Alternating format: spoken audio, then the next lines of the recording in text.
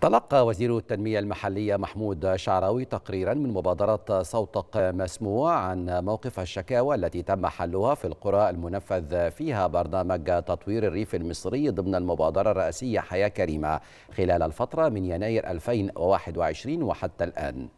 وقال وزير التنمية المحلية إن مبادرة صوتك مسموع تلقت 215 شكوى من أهالي القرى المنفذ فيها هذه المبادرة مبادرة حياة كريمة في 18 محافظة حيث تم حل 158 منها وجاري حل 37 متبقية بالتنسيق مع المحافظات والوزارات والجهات المعنية.